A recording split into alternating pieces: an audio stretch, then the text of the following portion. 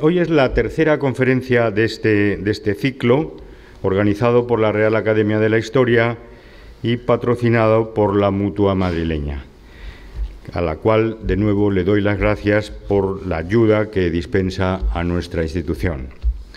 Y tenemos hoy al tercero de los conferenciantes, que es el doctor Miguel Luque Talabán, que es doctor en Historia y profesor titular de Historia de América. Ya les avanzo desde ahora que estamos ante un americanista joven, pero ya muy prestigioso y conocido en el mundo de la historia de América, el mundo de la historia de América. Esa historia a la que nosotros, como españoles, tenemos que dar una gran cabida en nuestros estudios universitarios, puesto que tenemos una historia común de varios, de varios siglos. Entonces, eh, un gran americanista, joven, pero como ustedes van, van a ver, de gran, de gran solvencia. Eh, ha sido director del Departamento de Historia de América I, hay dos departamentos en la Universidad Complutense, y en la actualidad, desde el 16 de enero de 2018, es decano de la Facultad de Geografía e Historia. Y entonces yo lamento muchísimo que sea decano, y lo siento en el alma, pero bueno, mm, hay que pasar por esos, trances. Se lo digo porque yo fui decano. Y entonces cuando, acabé mi decanato me despedí y ya no quise saber nada más porque como le decía hace un momento, los decanos de las facultades son una especie de gobernantas de hotel. ¿eh? Eh, que, tienen que estar preocupados de que los cuartos de baño estén limpios, de que haya papel, eh, tal. La gente cree que un decano de facultad es una cosa científica de, gran alcance. No, los, directores de departamento nos han quitado todo eso y han convertido a los decanos pues en unos coordinadores de aulas y en unos gobernantes de las facultades, lo cual lleva literalmente todo el día y no da más que disgustos. Pero no obstante, eh, el ser decano pues es un honor y bueno, en, el cordón de tu medalla de catedrático en su momento pues podrás poner un hilo dorado, es lo único que tiene. Bien. Eh, tiene ya cuatro sesiones de investigación, uno de, de, transferencias, o sea que a su edad pues es una persona de gran solvencia. Ha tenido estancias de investigación en prestigiosas instituciones dedicadas a la historia de América en México, Perú, Gran Bretaña, Estados Unidos, Portugal y Filipinas. Él está muy interesado en la historia de Filipinas, como, como luego verán, y yo creo que esto es una, una gran cosa.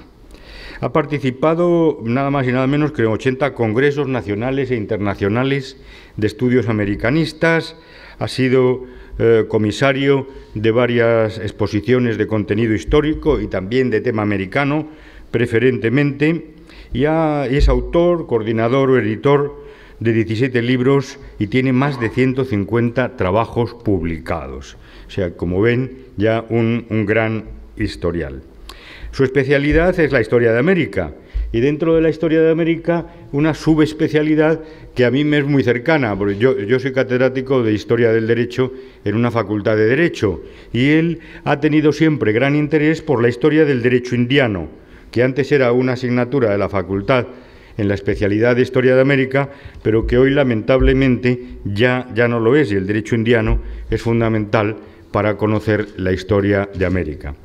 Eh, el derecho indiano no es el estudio del derecho de los indios, como la mayor parte de la gente cree, es el estudio del derecho de las Indias, el derecho que estuvo vigente en aquellos territorios donde mm, se aplicaba un ordenamiento peculiar, que era el derecho indiano, junto al derecho castellano. E, es director de un grupo de investigación de la Universidad Complutense de Madrid, perdón, que se llama Expansión Europea en el Seminario de Estudios sobre Filipinas y el Pacífico. Esto es muy interesante porque eh, no solamente se ha dedicado a, los territorios de la América continental y, de las islas del Caribe, sino que también se ha ido a Asia. Y quizá ese es el motivo principal que no el único de tenerlo hoy con nosotros.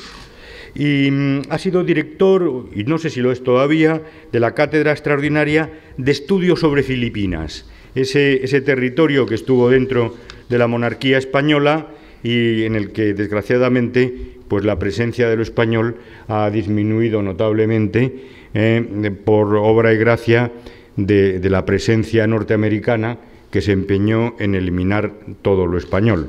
Yo, creo que todos los españoles tienen que tener en la mente eh, esa, eh, esos minutos de película en que se ve a un tanque norteamericano entrar y destruir una de las puertas de entrada a Manila. ¿eh?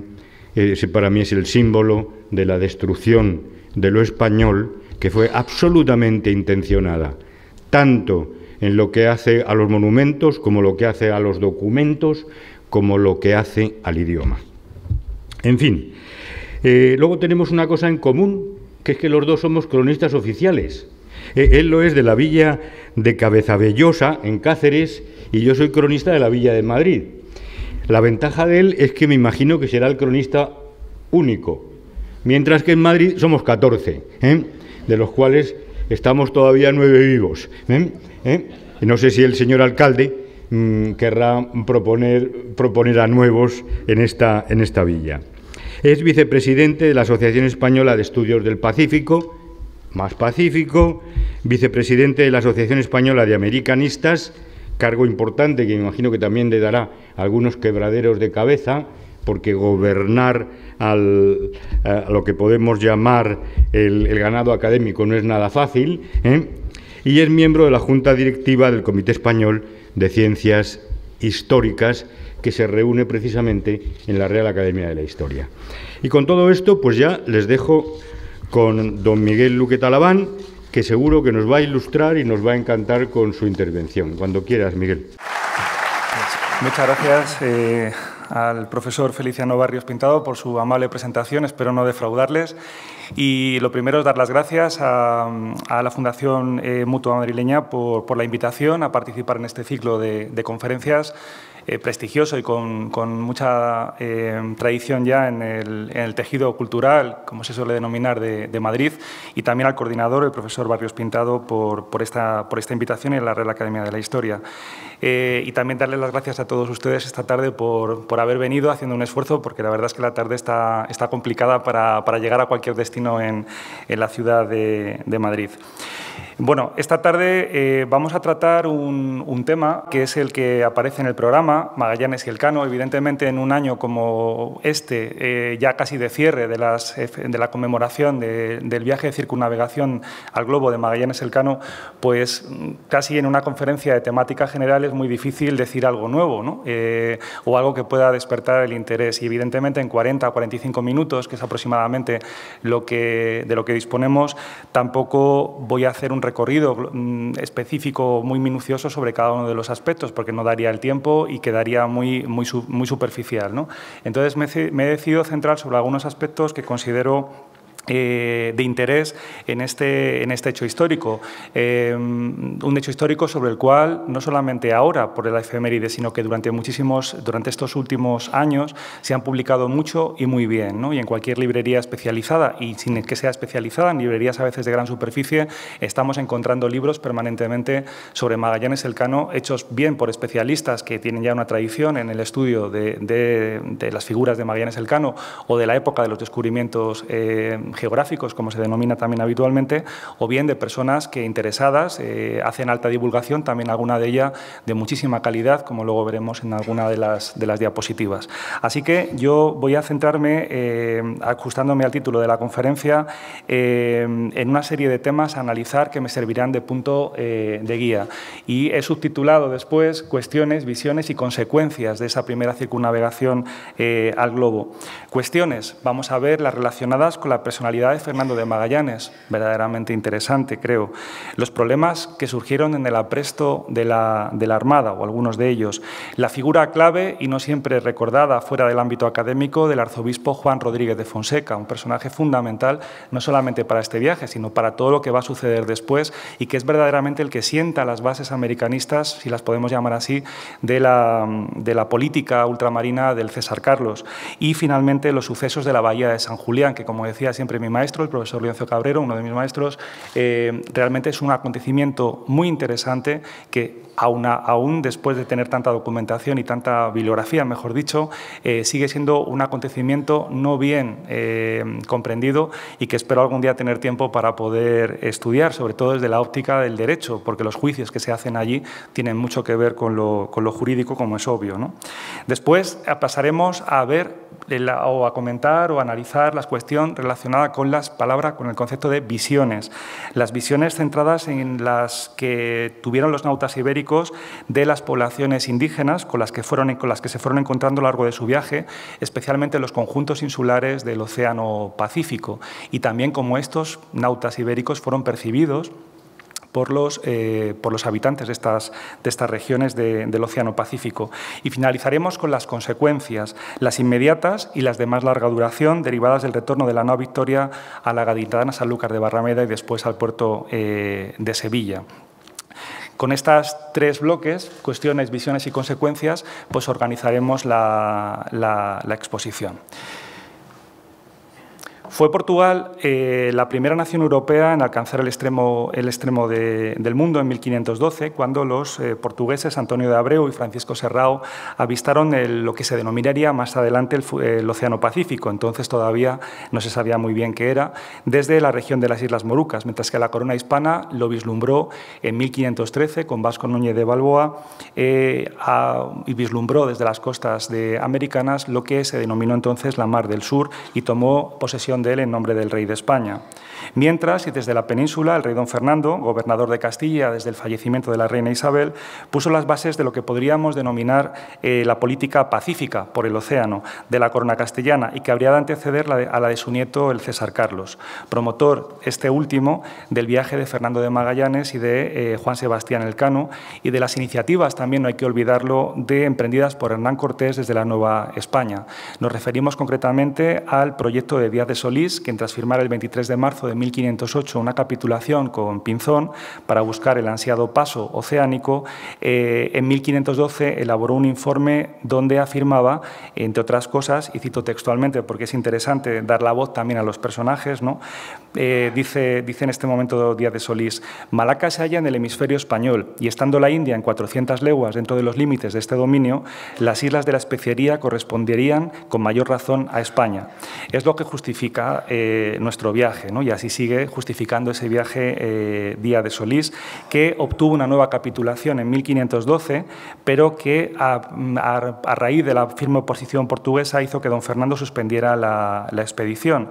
Sin embargo, eh, hay nuevos intentos durante, hasta que llegan al viaje de Magallanes Elcano de 1521 para intentar eh, hacer viajes hacia ese lugar que se denominaba la especiería.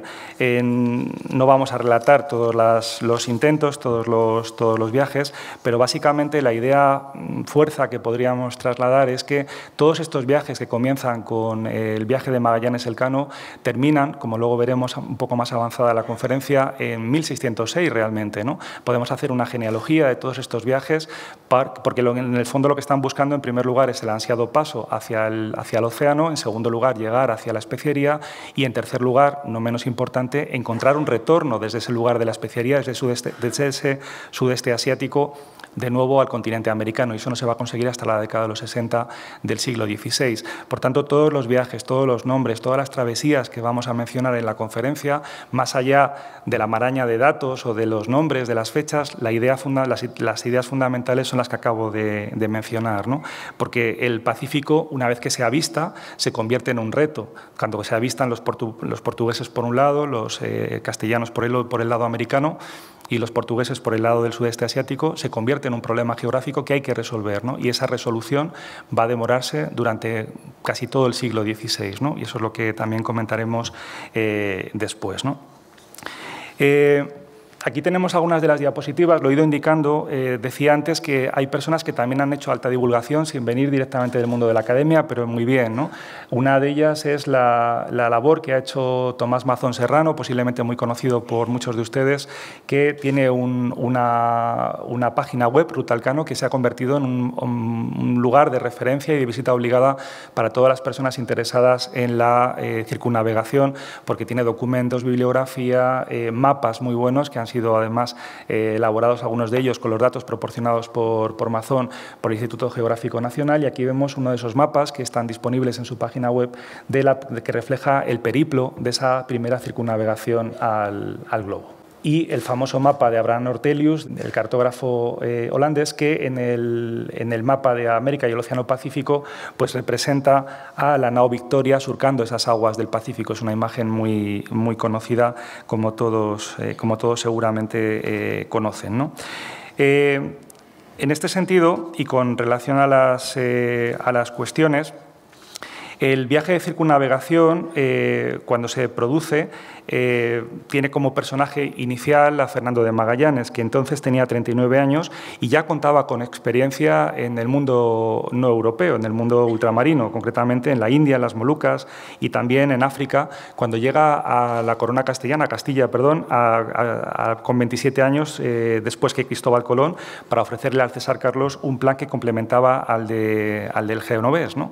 Eh, él estaba inspirado en el mapa de Martín Behaim y apoyado por el astrólogo y cosmógrafo por, también portugués, Rui Faleiro, sostenía que al sur del continente americano existía, existía un paso. ¿no?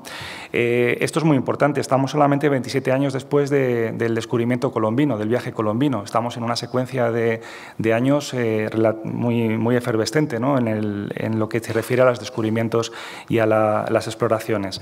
La corona entonces organizó una, en Sevilla una flota de cinco naves con, con casi 300 hombres, entre los cuales iba eh, Juan Sebastián Elcano, que sería el encargado después de concluir la derrota, y también algunos personajes que dejaron después crónicas de, este viaje y que seguramente conocen todos ustedes, que son uno de los más conocidos, Antonio de Pigafetta, básicamente más conocido porque una de las ediciones de la obra se acompaña de unas ilustraciones que reflejan por vez primera los espacios insulares y, las, los habitantes de esos espacios insulares y algunos elementos de su cultura eh, material. ¿no? Eh, Antonio Pigafetta, el caballero Antonio de Pigafetta, narra cronista de la expedición, nombrado cronista de la expedición, narra así la salida de esta. ¿no? Lunes por la mañana, 10 de agosto del año 1500 19, cito textualmente, una vez que la escuadra tuvo a bordo todo lo que era necesario, como igualmente su tripulación, compuesta de 237 hombres, se anunció la partida con una descarga de artillería y se desplegaron las, velas de trinquete. Luego describe su descenso por el río Betis, como él lo llama, hasta el puente del Guadalquivir y hasta llegar a la embocadura en, en Sanlúcar de Barrameda y después ya hacerse a, la mar para iniciar el, viaje. ¿no? De Sanlúcar partieron el día 20 de septiembre como indica, ya digo, Pigafetta al inicio de la, de la obra. Es imposible condensar en unos minutos el periplo de, un periplo de estas características, por lo que únicamente, como decía, haremos a continuación alguna relación de los, una breve relación de algunos de los pasajes que consideramos más fundamentales y donde la dureza de las condiciones del viaje fueron la, la pauta en las conferencias que han tenido anteriores en este mismo ciclo, pues ya también habrán podido ver la dureza de los viajes. Yo siempre señalo dos cuestiones muy importantes en los viajes en un mundo como el nuestro, donde la globalización ya sí es un hecho. También esto era globalización, pero hoy en día esta conferencia podría ser vista en cualquier lugar del mundo en tiempo real y cualquier noticia que demos ahora mismo en Madrid puede o en cualquier lugar de España puede estar al otro lado del mundo en cuestión de segundos, no diría ya ni minutos. Esto entonces no era así y el tiempo y la distancia marcan muchísimo las decisiones. Pensemos lo que era un viaje de estas características, no ya el de Magallanes Elcano, donde era que era un viaje como todos los viajes de descubrimiento emprendidos desde la península,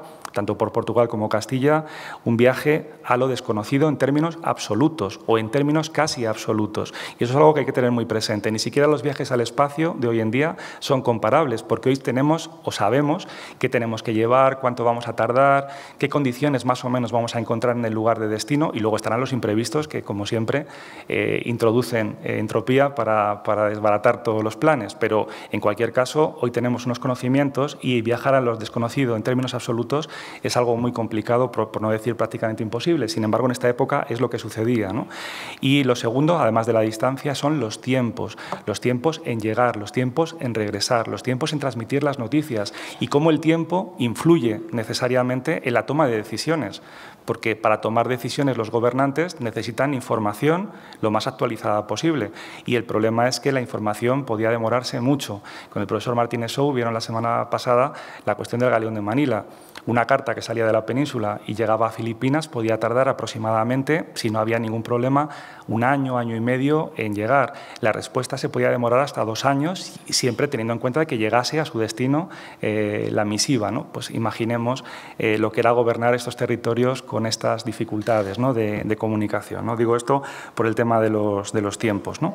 Vamos a ver algunas de esas cuestiones que, señalaba antes como nodales o que yo pienso que pueden ser nodales. A lo mejor eh, con, con mucho criterio ustedes dicen, pues también podría haber hablado de otras cosas.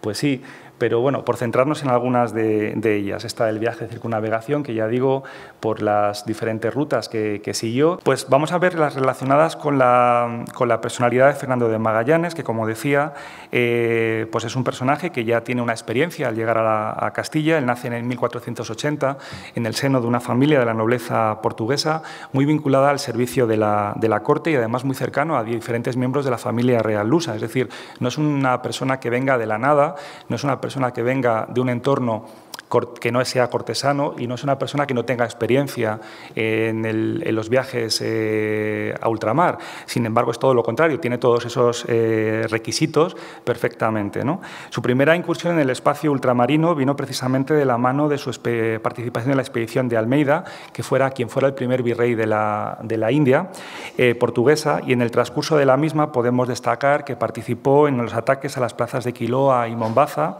que participó también en la conquista de Malaca y que en 1510, junto a Francisco Serrao, en la flota enviada por el virrey Alburquerque, eh, participó en la, en la, expedición hacia las Islas eh, Molucas, siendo este su primer contacto con el sudeste eh, asiático.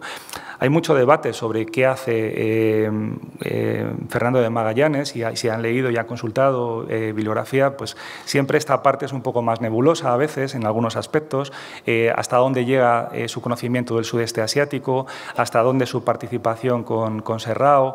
Eh, sobre todo, muy polémico es eh, cuando regresa a la península su estancia en el norte de, África, donde eh, su participación en una empresa africana, norteafricana, de la África controlada por los portugueses, no le depara los, los réditos esperados y que además le hace caer en desgracia en, la corte, razón por la cual termina en, en Castilla, ¿no?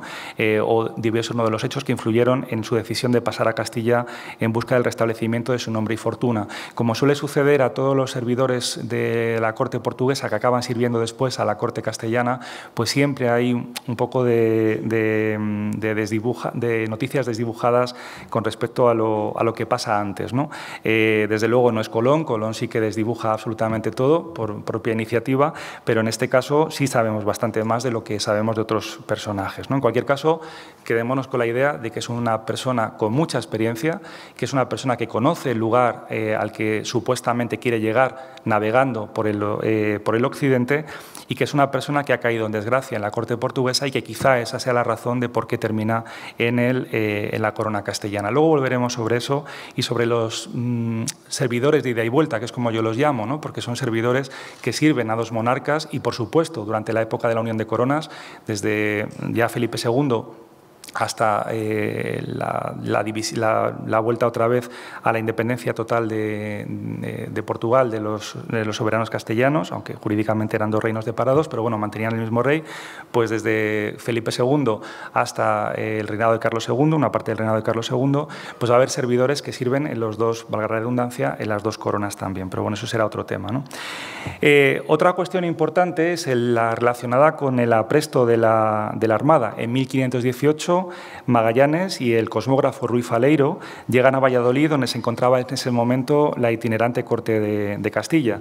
Durante ese tiempo son varios los personajes importantes que, le van, abriendo camino en la corte a estos dos proyectistas, siendo uno de ellos precisamente uno de los mm, personajes fundamentales de, las historias, de, de, los descubrimientos de esta primera etapa del siglo XVI, que es el arzobispo Fonseca como máximo representante de los asuntos indianos.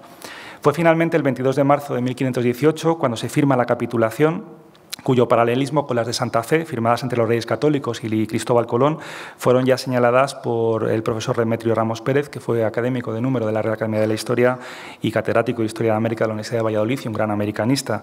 Eh, él estudió ya las similitudes entre los dos documentos eh, de capitulaciones. Los documentos, los pormenores de los preliminares han sido también estudiados muchísimo y de forma exhaustiva por el propio profesor Ramos Pérez eh, en una investigación que fue reeditada por su importancia en 2019 de nuevo eh, y que yo le recomiendo su lectura porque es muy interesante, no solamente para esta, para esta expedición, sino para todo el mundo que está en torno a, los descubrimientos en esta primera etapa de la expansión castellana en el, más allá de sus fronteras naturales. ¿no? El título del libro del profesor Demetrio Ramos es eh, Magallanes en Valladolid, la capitulación. Es muy, muy, directo ¿no? y ya digo, está reeditado en 2019. Fue la corona la encargada de sufragar los gastos de una expedición compuesta de cinco naves y casi 300 hombres. Y eso es algo también eh, no demasiado frecuente en la expansión eh, castellana a, otros lugares del globo, porque generalmente las capitulaciones consistían en que el interés particular, los particulares tenían que aportar el capital necesario para hacer la empresa. Si la empresa salía bien, eh, obtendrían a cambio las, algunos de los beneficios, las recompensas que estaban prometidas o pactadas en las capitulaciones, pero si salían mal no obtenían absolutamente nada. Por eso entre los americanistas es un refrán antiguo que siempre decimos la corona ponía papel y buenas palabras, porque realmente gran parte del capital venía de la, iniciativa, de la iniciativa privada. ¿no? Y, pero bueno, eso también sería otra, otra, otra temática, pero bueno, aquí es interesante ¿no? decirlo. En el puerto de Sevilla, cuando ya estaba firmada la capitulación, que era un documento sin el cual no se podía iniciar una expedición, era un Ahí hay también un debate en el derecho indiano, y el profesor Barrios lo conoce bien, si es un contrato, si es una concesión administrativa, eso sería, sería otro tema, pero en cualquier caso es un, es un documento que vincula a las partes, eh, pero sobre todo vincula más a una parte que otra, y vincula a la parte que, es representada por el interés particular, ¿no? que la corona finalmente no deja de ser la que arbitra todo. ¿no? Y una vez firmado ese documento y en el puerto de Sevilla comenzaron los preparativos del apresto de la Armada con las ayudas de los oficiales de la Casa de la Contratación y pronto surgen los primeros problemas que luego se van a ir incrementando durante la expedición. Ya en el puerto de Sevilla surgen los problemas acerca de la titularidad del mando de la expedición y al final eh, Ruiz Faleiro, el cosmógrafo, y persona conjunta en inicio con, Magallanes en esta expedición, puesto que eran artífices del proyecto que fue ofrecido al César, desapareció del binomio original, siendo sustituido como persona conjunta por otro personaje igualmente importante, Juan de Cartagena, que es nombrado veedor de la expedición, es decir, uno de los máximos responsables de la expedición, y que además era hombre de confianza del obispo Fonseca. Eh, evidentemente, el obispo Fonseca tenía sus sospechas de que, eh, o tenía, digamos, el temor de que dos eh, personajes, dos responsables de nación portuguesa, como era, se solía decir en la época, se utilizaba el término nación para indicar la nacionalidad, pues podían plantear un problema a lo largo de la nave y prefería tener a alguien de su entera confianza como persona conjunta de Magallanes para vigilar, para controlar y para, sobre todo, ser sus ojos y su mano en las decisiones durante toda la travesía. A este conflicto de, retirar a, Faleiro y de colocar a, Juan de Cartagena se vinieron a sumar las suspicacias contra Magallanes por su origen portugués y por desconfiar de sus últimas intenciones. Es algo que no que encontramos aquí, pero que vamos a encontrar en viajes eh, posteriores cuando sean eh, nautas portugueses los que están a cargo de la expedición. Es decir, es algo recurrente la desconfianza hacia eh, las intenciones o las últimas intenciones que podían ser reales o podían ser no reales, que eh, tenían personas que se consideraban de, fuera de un entorno de control o un, entorno de confort, como podían ser si hubieran sido eh, nautas solamente castellanos. ¿no? Eh, pero vemos de este modo como uno de los problemas que surgieron a la hora de prestar la Armada eh, fue esa, la, principalmente la de la marinería, perdón, eh, por tener un responsable portugués. Aquí tenemos algunas de las firmas de los nautas que participaron, los que sabían firmar, claro, en la, en la expedición que rubricaron este documento para indicar que, que, embarcaban. Cuando se estudia la historia común luso-hispana, tan interesante siempre, queda de manifiesto la estrecha relación que desde los albores de la Edad Moderna, incluso antes, eh, unieron ambas coronas. Las figuras de la emperatriz Isabel, de los Faleiro, eh, de Magallanes, son ejemplos de esos personajes, como decía antes, de, ida y vuelta. Es decir, el caso de Magallanes no es un caso tampoco excepcional, un servidor portugués que llega a servir a la corona castellana.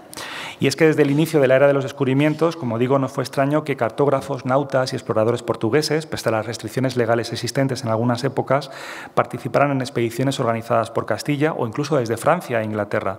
Eh, tema que, no es nuevo tampoco, ya el historiador portugués eh, Jaime Cortesao pues lo, trató hace ya muchos años, a principios de la década de los 80, y que bueno, sigue siendo un tema muy interesante. Cada vez más hay, hay estudios sobre ello, pero bueno, sigue siendo un tema, un tema interesante.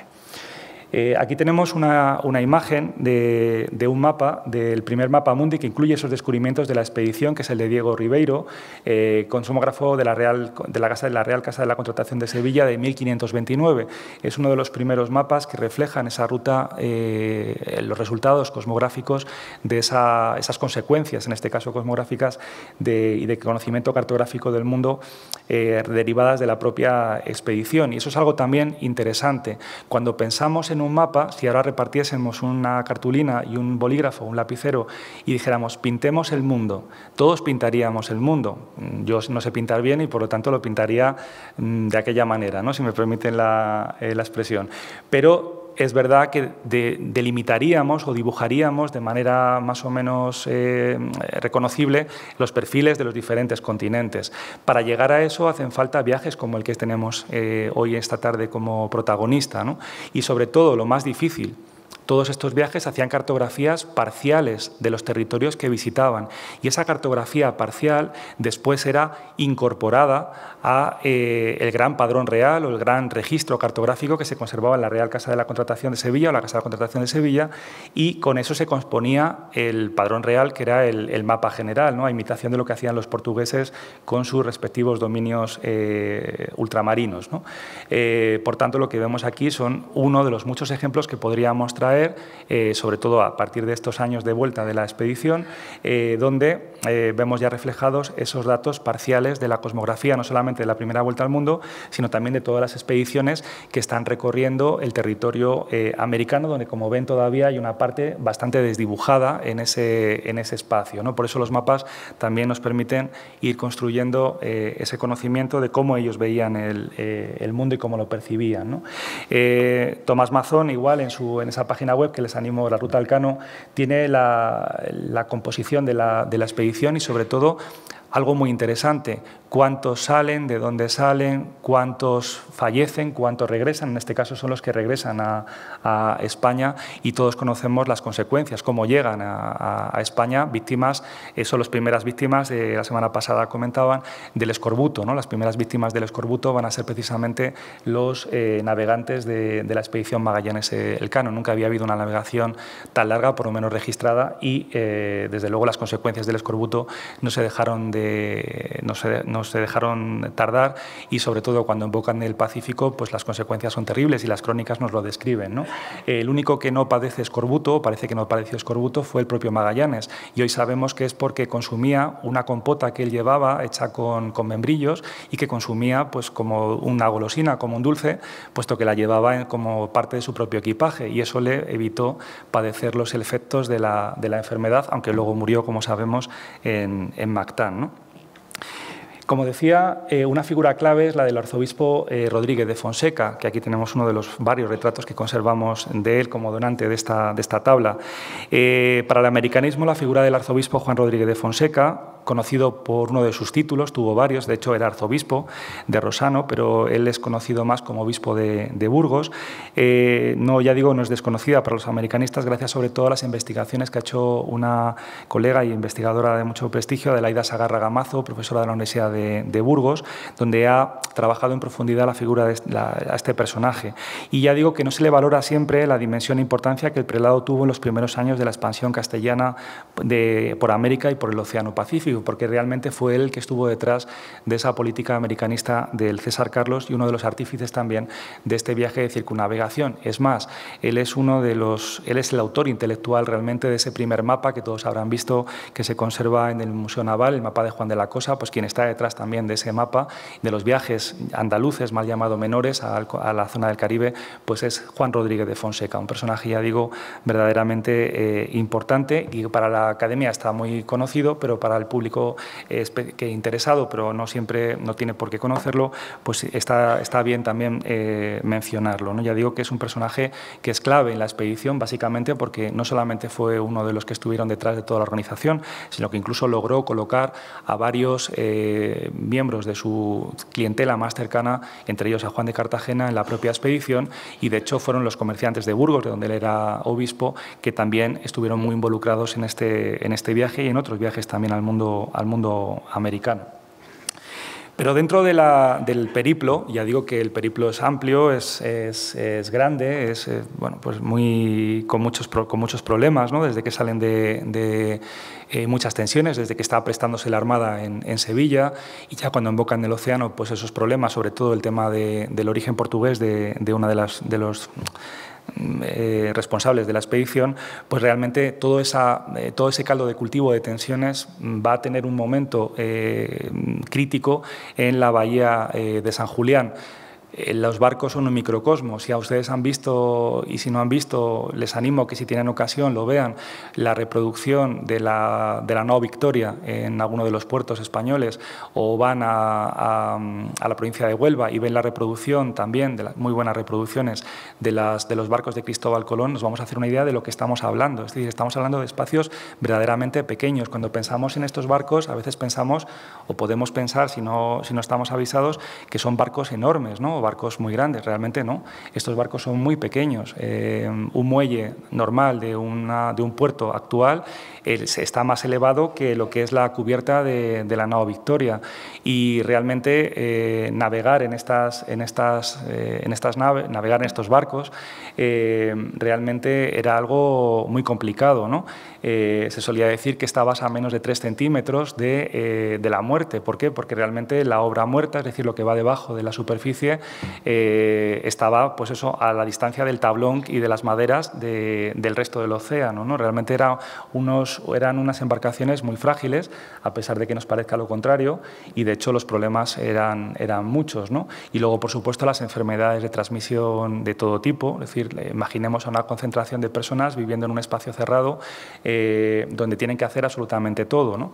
Y además, en los pasajeros, que, bueno, los pasajeros, la tripulación eh, humana no iba sola, también iba una tripulación no invitada a la expedición que consistía en parásitos, en ratas, etcétera, que bueno, pues también viajaban en los, en los barcos. ¿no? Y bueno, todo esto de la vida a bordo es también algo muy interesante que no debemos perder de vista cuando hablamos también de expediciones. Evidentemente, en esos, en esos microcosmos, en navegación, con las tensiones del lugar de partida, más las tensiones surgidas en la convivencia en un espacio muy cerrado, pues evidentemente pasó lo que pasó en la bahía de San Julián. Tras pasar por tierras brasileñas y dejar atrás la embocadura del río de la Plata, eh, explorando aproximadamente, explorada que había sido explorada aproximadamente cinco años antes por Juan Díez de Solís, la flota continuó su periplo hasta el, hasta el sur en busca del ansiado, el ansiado paso. Pero la llegada del invierno les, les sorprendió y Magallanes decidió establecer un lugar de invernada, una bahía, la de San Julián, que parecía propicia para el fin deseado. Allí permanecieron desde el 31 de marzo hasta el 21 o 24 de agosto de ese año de 1520. Esa decisión, la de hacer invernada en la bahía de San Julián, no fue del gusto de muchos de los, eh, de los capitanes. Este es el mapa de Herrera, que ya refleja eh, también parte de esos descubrimientos. Esa eh, decisión de, Magallanes, ya digo, no fue del gusto de muchos de los capitanes y pilotos que deseaban eh, continuar viaje para comprobar lo antes posible si existía o no existía el, eh, paso, el paso oceánico. ¿no?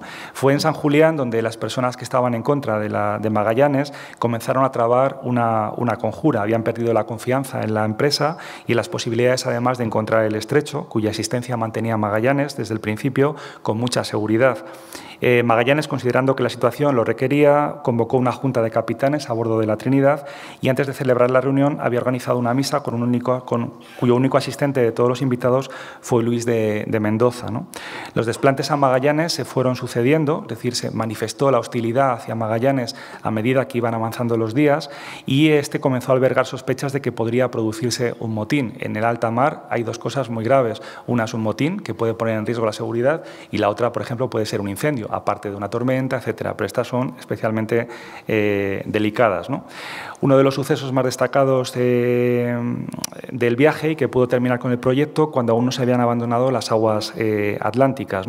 Las tripulaciones de la Concepción y de la Victoria se amotinaron, mientras que los hombres de la Santiago se mantuvieron leales a, Magallanes y ante tales circunstancias, este mandó que los tripulantes de la Trinidad y la Santiago se preparasen para, para el ataque. Eh, Juan Sebastián Alcano precisamente se encontraba entre uno de los amotinados. Fue dominada la situación por hacer la historia lo más eh, simple posible. Ya digo que sigue siendo un tema que a mí me gusta, sobre todo desde la parte jurídica, ¿no? ver cómo se hizo todo el proceso. Eh, una vez dominada la situación por parte de Magallanes, no sin, sin, dificultades muchas, este quiso juzgar a los amotinados, que es donde me voy a centrar ahora, en un juicio que cumpliese con los requisitos que fijaban las leyes y nombrando para ello como jueces a pilotos que se consideraban neutrales. El veredicto del juicio que fue cumplido fue el siguiente y fue ejemplarizante. De hecho, precisamente para evitar nuevos motines durante el resto de la travesía. Luis de Mendoza fue ahorcado y su cadáver arrastrado y descuartizado, exponiéndose sus miembros en cuatro patíbulos erigidos en otros tantos lugares de la bahía de San Juan, de San Julián, perdón. Imaginemos el impacto también que esto produjo en las personas. Que no conservemos testimonio de todos los nautas, de todos los tripulantes, no significa que no tuvieran una impresión y una opinión sobre lo que aquí tenemos. ¿no? Ahora hablaré un poco de muy breve de las fuentes. Gaspar de Quesada, otro de los, de los eh, activos en el motín, fue condenado a ser decapitado, siendo también expuestos sus restos, al igual que en el caso de Mendoza. Juan de Cartagena, el hombre de confianza del obispo Fonseca, fue condenado a ser confinado en su camarote. Su cercanía al arzobispo Fonseca debió de influir en ese resultado, pero después se confirmó una dura sentencia, de que la inicial, ya digo, no se cumplió. Será abandonado en tierra con el clérigo Pedro Sánchez de la Reina el 11 de agosto, justo cuando partió la Armada. Fueron eh, abandonados en una playa desolada cercana a San Julián, con unos sacos de galleta y unas garrafas de, vino, es decir, unos, unos víveres para subsistir, y debieron subsistir un, tiempo, pero no sabemos qué, debió pasarles después. Librándose también de la ejecución, Jerónimo de Guerra, eh, se libró también de la ejecución, eh, entre otros más, Jerónimo de Guerra, hombre muy vinculado al comerciante y mercader Cristóbal de Aro del entorno del obispo eh, Fonseca. Al resto de amotinados se les conmutó la pena de muerte, hacían falta hombres en la expedición, por trabajos forzados en las naves que durante un tiempo tuvieron que realizar además encadenados. ¿no?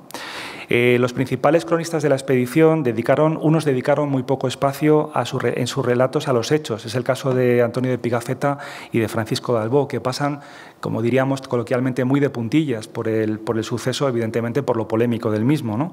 Y otros lo explicaron con más detalle, en el caso de Maximiliano de Transilvano, que es otro de los cronistas de la expedición, otro de los nautas que van y que cuentan también su, su relato. Este último explica que el, motín se dio origen por la animadversión de los tripulantes hacia uno de sus jefes de nación portuguesa. Insiste en esa, en esa idea eh, permanentemente. Evidentemente había más, pero bueno, insiste en esa, en esa idea.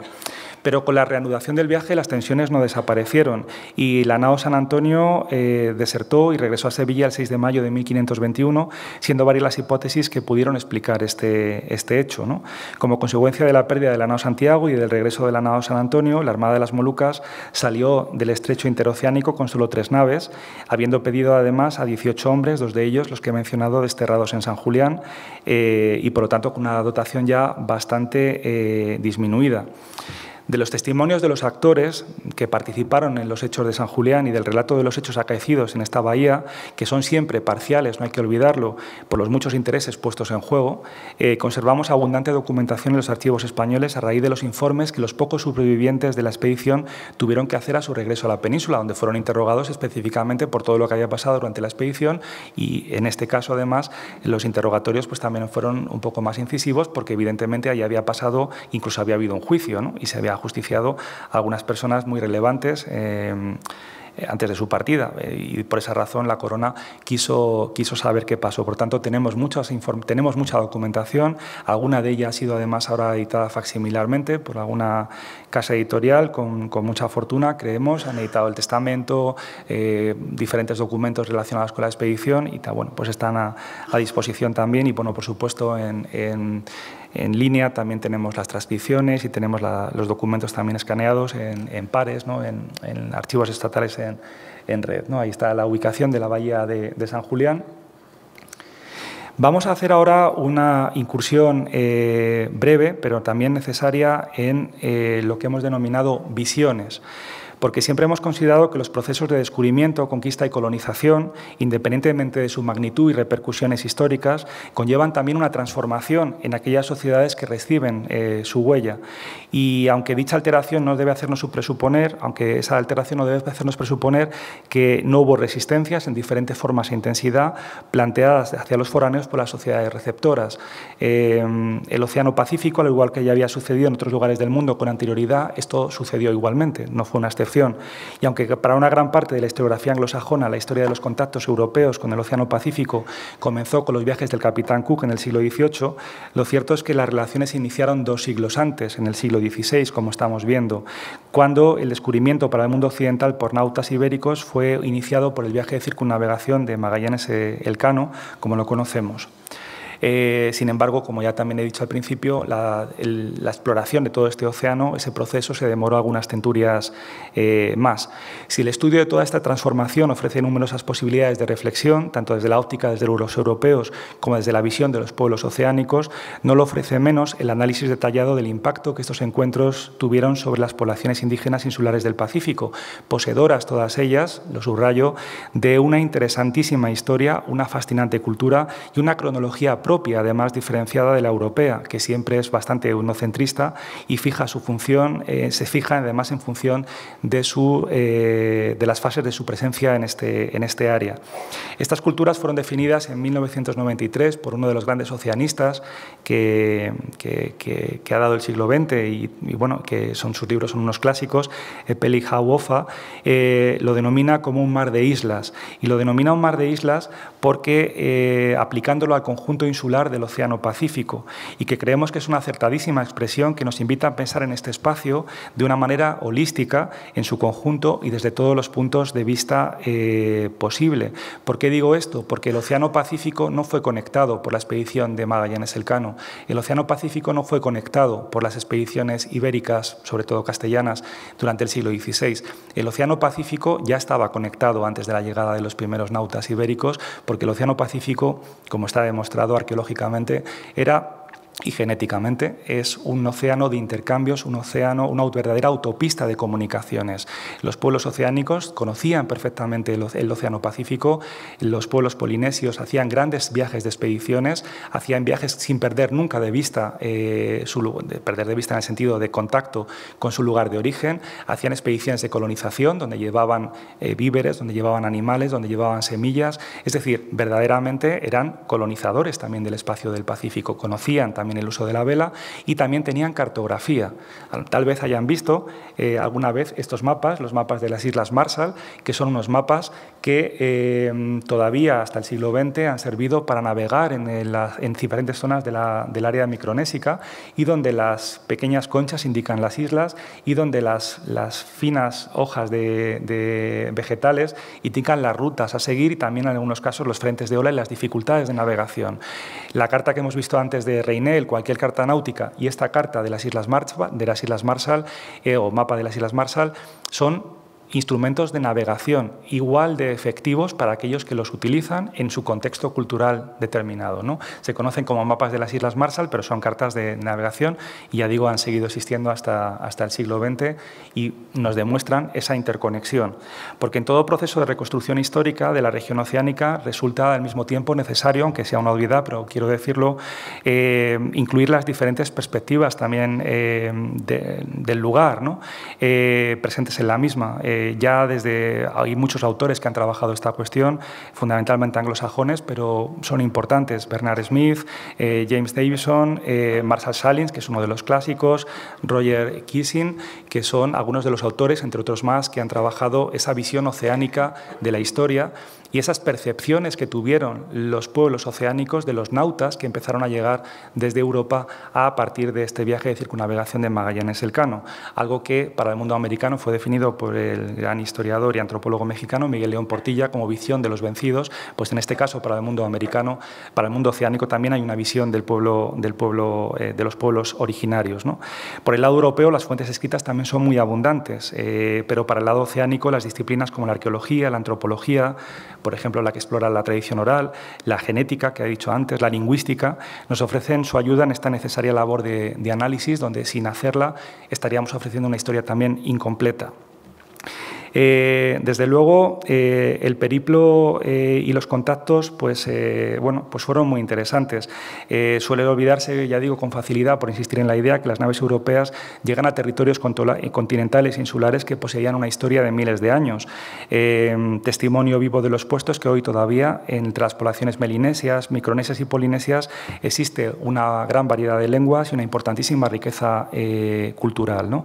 el estudio y análisis de esos encuentros entre marinos y poblaciones autóctonas es de mucho interés, como también son las formas en que la presencia europea fue transformando profunda y progresivamente eh, la región. Las noticias compiladas por algunos de los nautas del primer viaje de circunnavegación son muy reveladoras en ese sentido. En el caso de Antonio de Pigafetta, por poner un, caso, en su conocida relación del, del primer viaje de navegación al mundo, publicado por Pinacio en 1524, recogió sus impresiones y, entre comillas, del otro, del que no era como ellos, con un estilo que hoy no dudamos de calificar en eurocéntrico, pero que era el que estaba vigente en la primera mitad del siglo XVI y que buscaba destinarse, que buscaba, perdón, hacerse comprensible para el público que podía leer, que tampoco era mucho, eh, de este tipo de obras, un público europeo eh, en ese momento. Eh, un método presente en crónicas y bitácoras escritas sobre estas regiones oceánicas y que buscaba dar testimonio de la diversidad poblacional de los territorios con los que se iba entrando en contacto. Entre las, entre las aportaciones del cronista italiano encontramos además 23 mapas con algunos de los lugares por los que atravesó la expedición y que ilustraron su obra. Aquí tenemos uno de ellos, que son además los primeros en representar, aunque aún de una manera muy incipiente, esas tierras oceánicas. Complementando yo al texto de Pigafetta, esta primera relación de la Vuelta al Mundo, que es quizá la obra más conocida de, la, expedición, eh, existen otros testimonios relevantes de este primer periplo circunnavegador, igualmente bien estudiados desde hace varias décadas. Los ya mencionados, redactados por Maximiliano Transilvano, el piloto Francisco Albó o Ginés de Mafra, que también era portugués, entre, entre otros. ¿no? Eh, antes de, no voy a detenerme en los detalles, porque evidentemente no podemos, pero sí voy a, voy a mencionarles simplemente en qué temas se fija, por ejemplo, un autor como Pigafetta y otros autores, qué aspectos le llaman la atención de esos contactos con las poblaciones oceánicas y a partir de ahí podríamos entrar en varias horas de analizar los detalles de ese, de ese contacto ¿no? y, de, y, de, lo que y de qué significa cada una de las impresiones que anotan de, de, sobre ese contacto. ¿no? Eh, desde luego, eh, aunque eh, entran en contacto primero con las, primero, perdón, entran en contacto con los pueblos de América, concretamente de Brasil, de las tierras continentales de Brasil, el 13 de diciembre de 1519, de la actual Argentina y de la actual Chile. ¿no?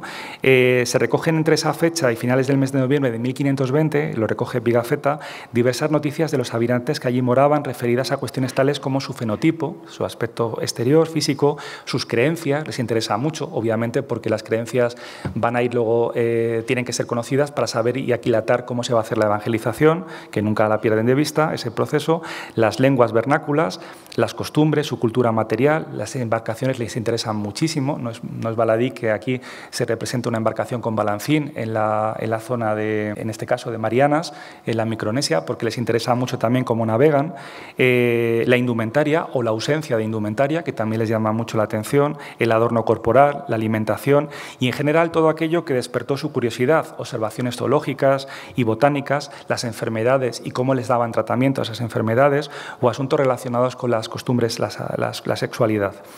Eh, aspectos que también reflejaría Pigafetta en su, en su texto refiriéndose a las culturas del Océano Pacífico. No llevaba un cuestionario como tal, pero la propia curiosidad y el deseo de que esa información sirviese después para tomar acciones que eh, permitiesen la ocupación de esos territorios hizo que no solamente Pigafetta, sino que otros muchos siguiesen este mismo esquema de, análisis con mayor o menor, eh, con menor o mayor detalle. ¿no? Eh, como decía antes, mucho tiempo antes de la llegada de los europeos al Océano Pacífico, este ya fungía como una verdadera calzada de comunicaciones. Insisto en ello porque creo que es una idea que sí me gustaría dejar esta tarde eh, muy, muy sentada. ¿no? Eh, este, es por este motivo, y esto es interesante, que si bien los isleños estaban acostumbrados a las visitas y contactos con otros pueblos del océano, eh, del entorno más o menos cercano, no estaban, sin embargo, familiarizados con los códigos de comportamiento e interacción europeos. Señalo esto porque en trabajos antropológicos que hemos podido hacer con un colega del Colegio de México, el profesor Carlos Mondragón, eh, hemos visto cómo eh, en el viaje de Pedro Fernández de Quirós, que es el último viaje que se hace a lo que es actualmente conocido como Vanuatu, los cronistas de la expedición recogen que cuando avistan por la noche ven cómo las hogueras, la población se va dispersando y no se queda en la zona de costa, sino que se refugia en los montes cercanos. ¿no? Y por la noche ven las pequeñas hogueras en, la oscuridad, pues en lugares alejados. La pregunta que nos hacemos como historiadores, como antropólogos, es ¿por qué la población se retira de la costa? Si no había visto nunca a un nauta eh, ibérico. ¿Por qué razón?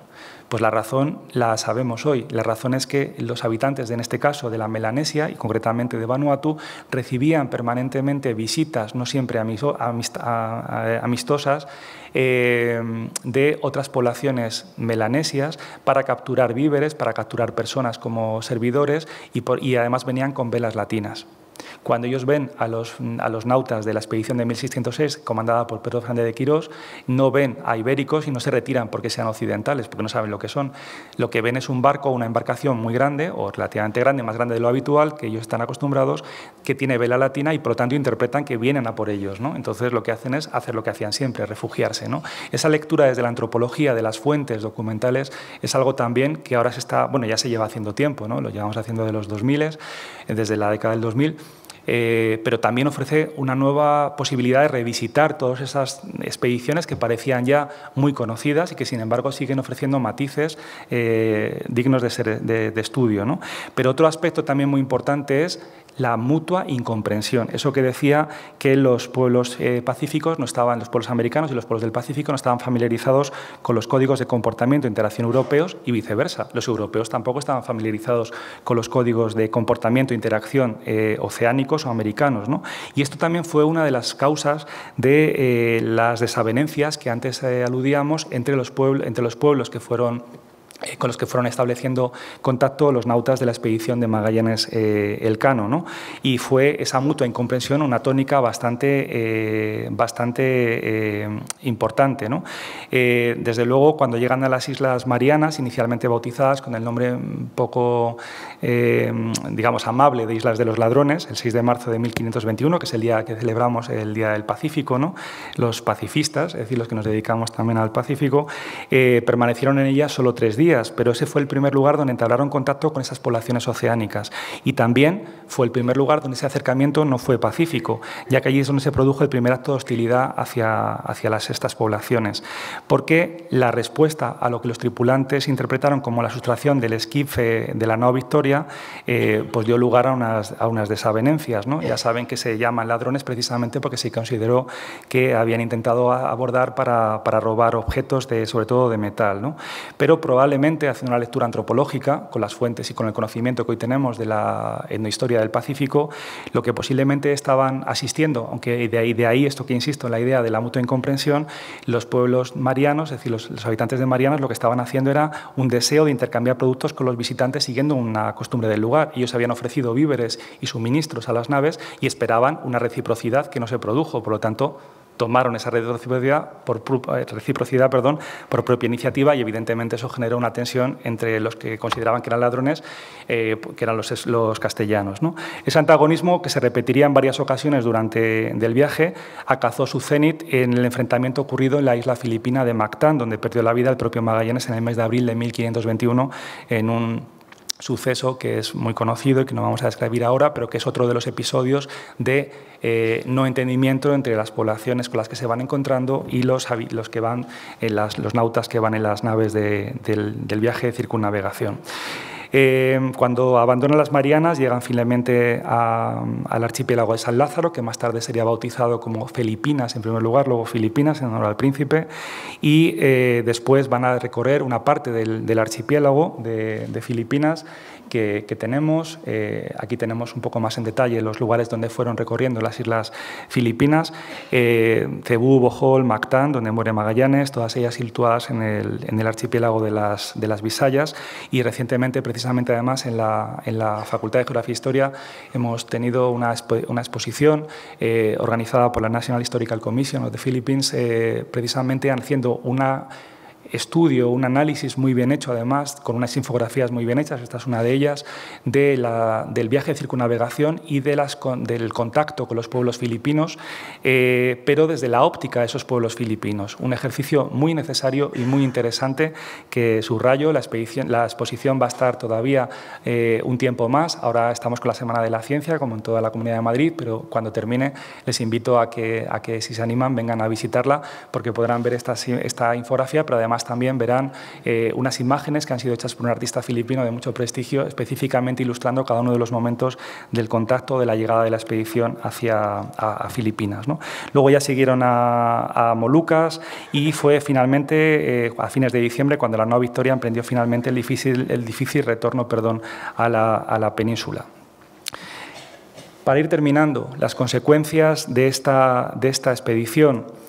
Si hemos visto eh, algunas cuestiones, pocas, pero eh, como decía al principio, en algunas que las que quería tomar, eh, centrarme, las visiones, centrándome en las visiones de esos pueblos oceánicos, podríamos, ya digo, hablar mucho más sobre, sobre cada uno de los detalles ¿no? y de lo que, lo que se fijan, ¿no? ya digo, es muy interesante la lectura de las, de las crónicas, la más conocida la de Pigafetta, pero todas las demás, que también están editadas, pero vamos a centrarnos ahora al final en las consecuencias, ¿no?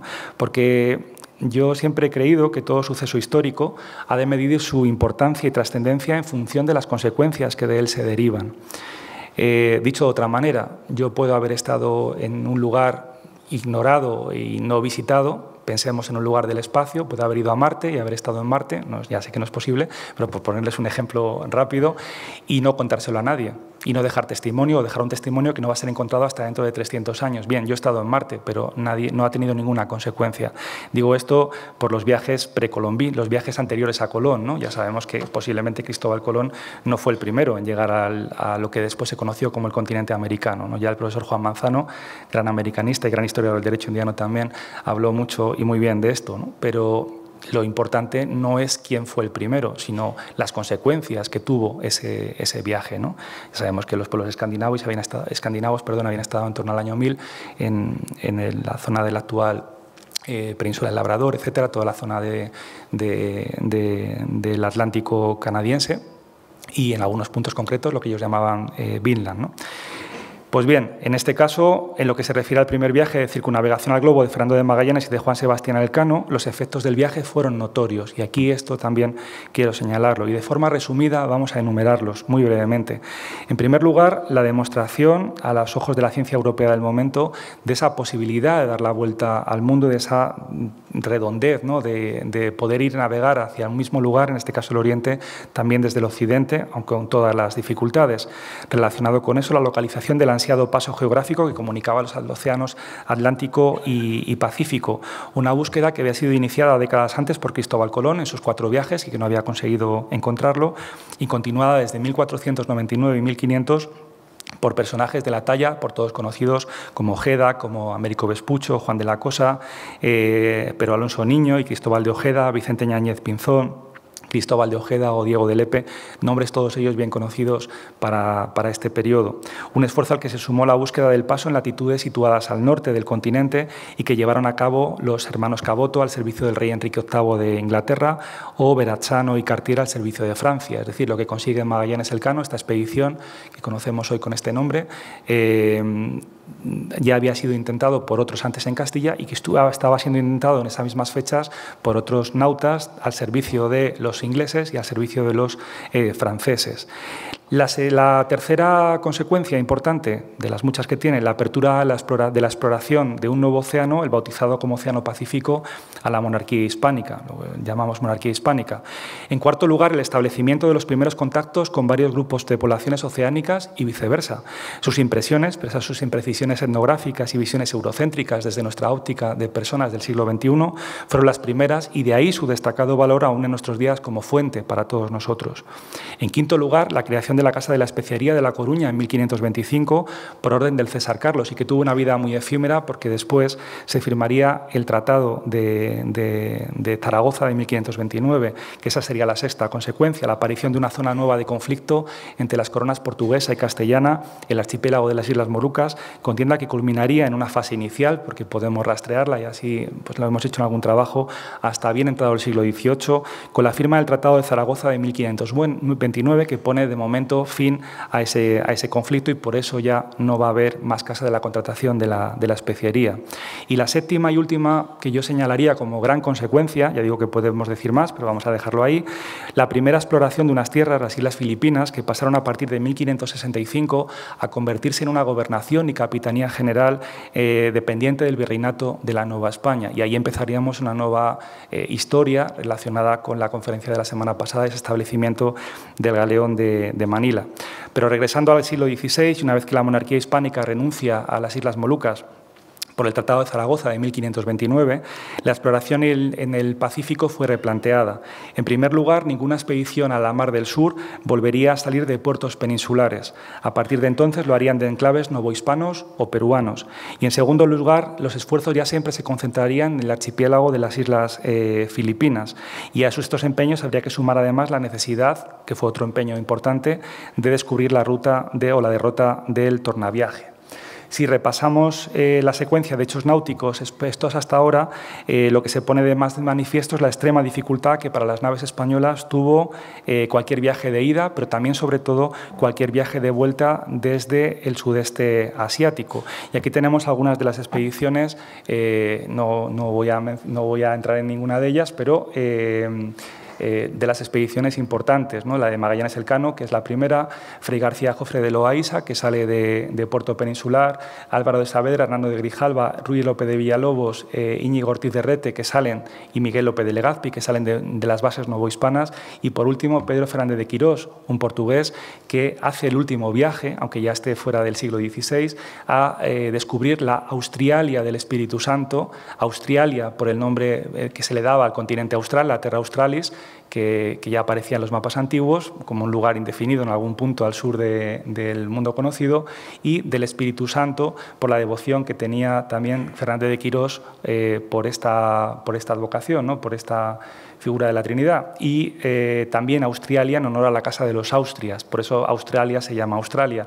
Él no llegó a, descubrir Australia, pero sí descubrió un archipiélago que estaba muy cerca. ¿no? Aquí la fortuna le fue bastante esquiva y es un personaje también interesante. Seguramente le conocen, pero si quieren profundizar más en él, profundicen porque realmente es un personaje a tener en cuenta. Es una, persona, una personalidad que nace fuera de su tiempo eh, porque propone un viaje y propone una utopía de descubrimientos que es más propia de finales del XV, principios del XVI, que de principios del siglo XVII. ¿no? Pero bueno, eso daría para allá otro tema. Es un personaje que hemos trabajado mucho y que, y que bueno, pues le, le, tenemos especial cariño. ¿no? Todos los historiadores trabajamos a ciertos temas y ciertos personajes y acabamos considerándolos parte también de nuestra, de nuestra vida, con la distancia necesaria, obviamente. Eh, el 21 de noviembre, eh, como digo, de 1564 se designa, como eso sí lo mencionaré, a Miguel López de Legazpi como responsable de una expedición donde, irá Fray Andrés Urdaneta para la, conquista del territorio y el inicio de la colonización de las Islas Filipinas. Y es aquí donde el descubrimiento del tornaviaje en 1565 va a inaugurar, en palabras del gran pensador mexicano Alfonso Reyes, una gran circulación oceánica, decía él, que habría de perdurar hasta comienzos del siglo XIX. Y es el origen, ese barco de retorno de 1565 de ese, eh, de ese eh, galeón de Manila.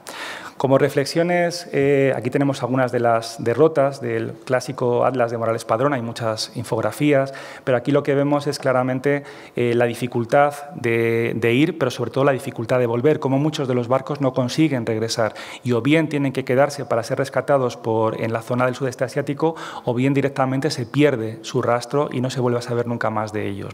Por eso, el viaje de Magallanes Elcano, que comienza eh, un problema, eh, un problema en el sentido geográfico del término, ver cómo se navega por el Océano Pacífico, eh, eh, no es resuelto esa incógnita de cómo se regresa hacia las bases americanas eh, para poder hacer útil el espacio a los ojos de la corona española en ese momento, hasta el viaje de Miguel López de Legazpi. Por eso siempre me gusta, aunque extienda mucho la red ¿no? de temas, ver todo en su conjunto, porque si no lo vemos en el conjunto nos vamos a quedar solamente centrados en un aspecto y vamos a perder de vista que un viaje solamente es una parte de toda una historia mucho mayor ¿no? y sobre todo unos objetivos de la corona que están muy presentes en todas estas expediciones.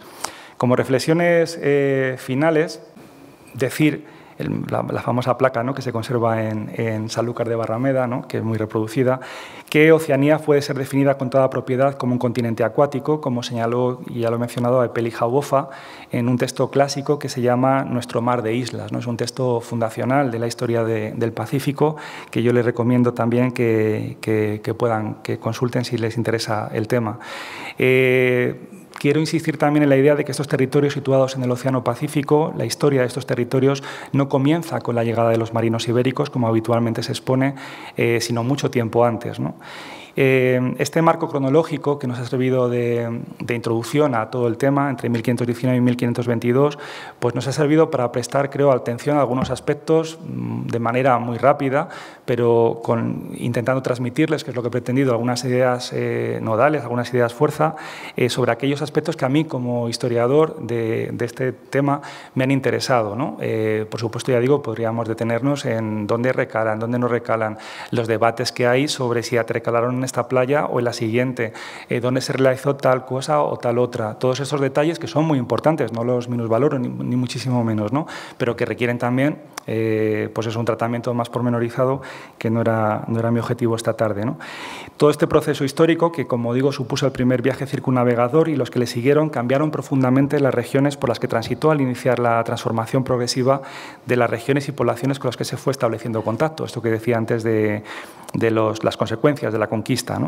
Eh, en todo el entorno del Océano Pacífico y que es el espacio que personalmente eh, más he tenido ocasión de, investigar, pero también del, americano, los grupos indígenas que fueron entrando en contacto con, los navegantes españoles, primero españoles, castellanos, luego europeos, holandeses, británicos, franceses fundamentalmente, no permanecieron estáticos ante este encuentro mutuo, sino que se fueron transformando progresivamente a medida que los contactos y la colonización, caso de la hispana sobre las Islas Marianas y las Islas Filipinas, eh, se se fue asentando. La importancia y la dimensión política del viaje de Magallanes Elcano no es resultado de los modernos estudios sobre el mismo, que también, sino, y que hasta la última idea, eh, que además se ha incrementado, como decía antes, con las conmemoraciones del quinto centenario, sino que ya en su época las consecuencias del viaje fueron tan importantes que muchos autores de la época, o importantes autores de la época, vamos a decirlo más precisamente así, o con más precisión, como Gonzalo Fernández de Oviedo, reflejaron la importancia del viaje y dejaron noticia ya en el siglo XVI, o sea, fueron conscientes ya en el siglo XVI de la importancia del viaje, algo que no todos los mm, eh, expedicionarios de, esta época de los descubrimientos eh, tuvieron, es decir, fama en vida, sino que muchos pasaron sin pena ni gloria o tuvieron muchos problemas después. Esta expedición ya en la época fue considerada eh, importante y las consecuencias que antes he mencionado, las siete consecuencias, pues son buena prueba de ello. Y un ejemplo, como digo, son las palabras de eh, Gonzalo eh, Fernández de Oviedo, que dijo que el camino que esta nao hizo, refiriéndose a la nao Victoria, fue la mayor y más nueva cosa que desde la creación, él lo dice de otra manera, pero vamos, desde la creación, pues había, desde que Dios compuso el mundo, dice él, ¿no? Hasta nuestro tiempo se ha visto y no se ha oído ni escrito con más de notar, dice él, en todas las navegaciones después de aquella del patriarca Noé, ni aquella nao arca, la de Noé se refiere, no navegó tanto como esta, ¿no? indicando pues eso, la dureza del periplo. Así que nada más, muchísimas gracias por su atención y su paciencia y quedo a su disposición por si tienen alguna cuestión que preguntarme. Muchas gracias.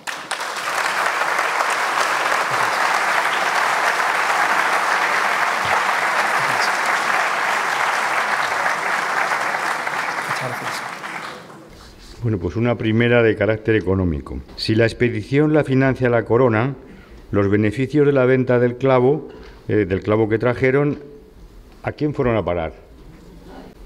Efectivamente, las, capitulaciones, el clavo, el producto de la venta del clavo sirvió para pagar los gastos de la, de la, propia, de la propia expedición. Esto no siempre sucedía así. También se les permitía a los expedicionarios a veces embarcar eh, productos para después con su venta sufragar algunos de los gastos. ¿no? Pero en este caso, fíjense, eh, el, producto traído, es decir, fundamentalmente las especias, el clavo sobre todo, sirvieron para hacer rentable la expedición. La expedición fue dramática en lo que se refiere a un coste de vidas humanas, hemos visto rápidamente la infografía y volvieron muy pocos supervivientes, pero, sin embargo, el, beneficio económico que supuso la expedición, a pesar de todas las pérdidas eh, económicas y también materiales y eh, humanas, perdón, materiales económicas humanas, el producto sirvió porque el clavo, como todos saben y verían también en la primera de las conferencias de este ciclo, pues tenía su valor en casi peso en oro, ¿no? es decir, era una, una especie eh, muy valorada, o sea que sirvió para pagar los gastos de la, de la expedición. Aquí dos, porque en el fondo, pues la cuestión principal aparecen las dos preguntas. ¿Por qué Pigafetta no cita en su libro a Elcano? Y eh, otro amable oyente eh, lo, eh, lo plantea desde la oposición de Pigafetta. ¿Oposición en el sentido? A, Elcano. Mm. Pues parece que es eso, ¿no? que los cronistas estaban más cercanos, Pigafetta estaba más cercano a, Magallanes que al, que al, propio Cano, ¿no? Posiblemente quizá también por eso los sucesos de la Bahía de San Julián en su relato pues son mucho más, más tenues, ¿no? Pero los cronistas no eran siempre imparciales, ¿no? Y en este caso no lo mencionan. Además, el Cano, no olvidemos, no tiene un papel protagonista hasta que el viaje va avanzando, ¿no? Y de hecho había estado involucrado en los sucesos de la Bahía de San Julián. Entonces es probable, o sea, no, tengo una respuesta definitiva, ¿no? Porque no, no la tengo, pero sí... Eh, yo siempre he pensado que efectivamente eh, hay un, no sé si animadversión sería la palabra, pero sí, digamos, un deseo de no dar notoriedad a un personaje que finalmente se hace con la expedición. De hecho, hoy conocemos la expedición como expedición de Magallanes el Cano, pero el Cano no es el personaje llamado a, tener un nombre en la historia, ¿no? y finalmente pues, eh, el destino hace que así sea, y sus habilidades, por supuesto, ¿no? que luego va a tener él una vida muy interesante posteriormente al, propio viaje.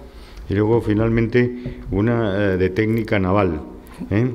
Eh, ¿Por qué no se utilizó la tecnología china de construcción de barcos sabiendo que eran muchísimos más grandes estos barcos que las naves europeas?